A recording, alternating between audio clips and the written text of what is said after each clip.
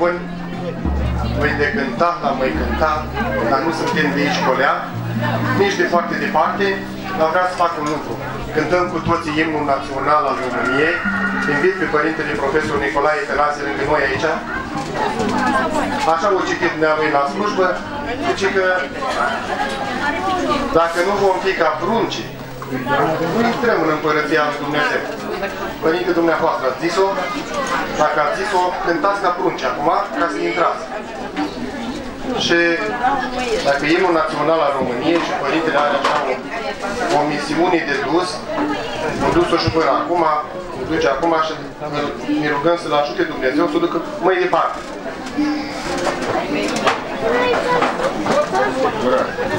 Haideți cu rând de aplauze, nu stați așa. Hai,